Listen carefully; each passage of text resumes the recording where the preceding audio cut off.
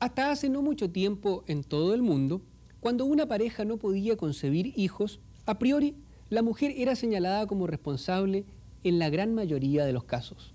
Sin embargo, los estudios actuales indican claramente que las causas de la infertilidad se reparten en porcentajes casi idénticos entre hombres y mujeres. Aunque por lo general las posibilidades de tratamiento exitoso son menores en el sexo masculino, permanentemente surgen avances médicos y quirúrgicos que significan importantes progresos en esta materia.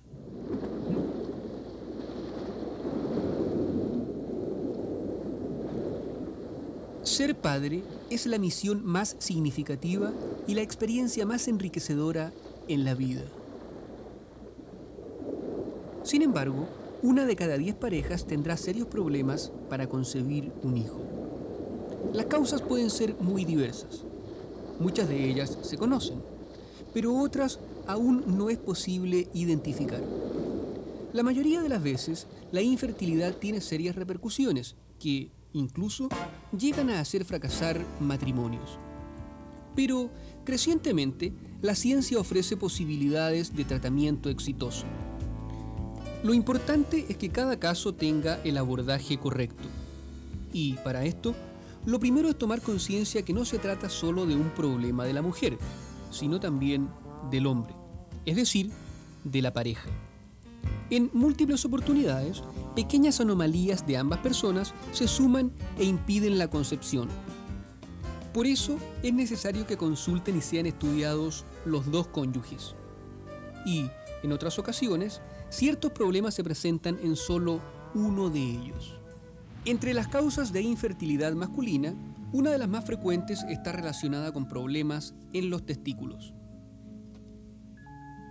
Estas dos gónadas se forman durante la vida intrauterina. Sin embargo, no nacen en el mismo lugar que ocuparán definitivamente. Se forman cerca de donde después quedan los riñones y, durante el embarazo, van bajando poco a poco hasta llegar al saco escrotal debajo del pene. Pero en este camino que recorren antes de que el niño nazca, pueden quedar retenidos en algún punto o desviarse de su ruta y no descender al sitio que les corresponde.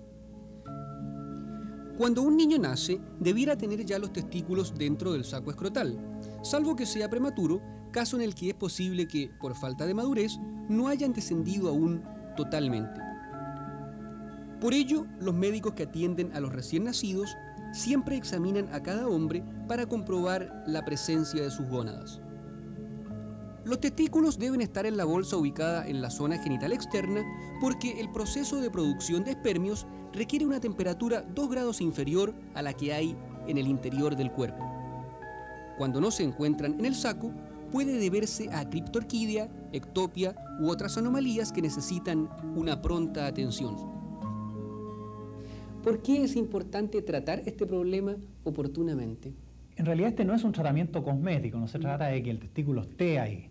Se trata de que si no ha bajado, está ubicado en el abdomen, está demasiado arropado, digamos, y tiene una temperatura superior a la que debiera tener estando en la posición normal. Esta mayor temperatura, que es más o menos de un grado, empieza a dañar sus células, que son las células germinales, las que van a producir después los espermios y van a garantizar su, fecundidad. Se dice que si un niño tiene los dos testículos arriba y no han bajado hasta la pubertad, el niño es infértil. En el caso de que sea de un solo lado, tiene más o menos un 60% de posibilidades de fertilidad.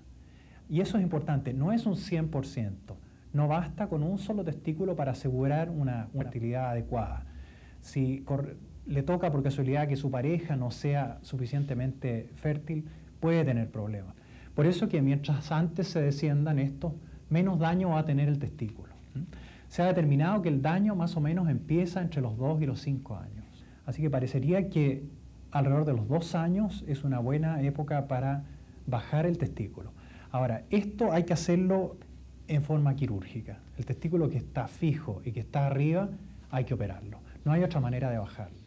La cirugía con ayuda del microscopio ha significado un gran adelanto para mejorar los resultados de diversas operaciones de los ojos, los oídos, el cerebro y varios otros órganos. Y en el campo de la infertilidad, Así como se emplea desde hace varios años para reparar las trompas de falopio en la mujer, ahora es de gran utilidad para recanalizar los conductos del sistema reproductivo del hombre.